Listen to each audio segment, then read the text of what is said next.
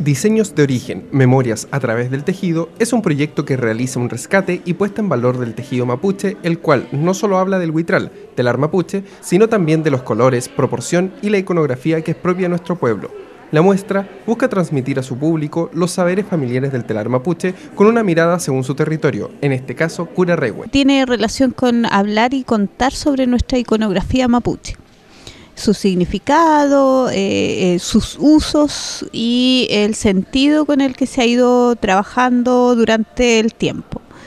Habla un poco de nuestra, nuestros conocimientos que es, transmitido de mi familia, está con una mirada familiar, por lo tanto, en toda la explicación y una mirada territorial. Esta muestra durante este año se encuentra circulando por diversos centros culturales de la región de la Araucanía, aportando el conocimiento y valoración del pueblo mapuche.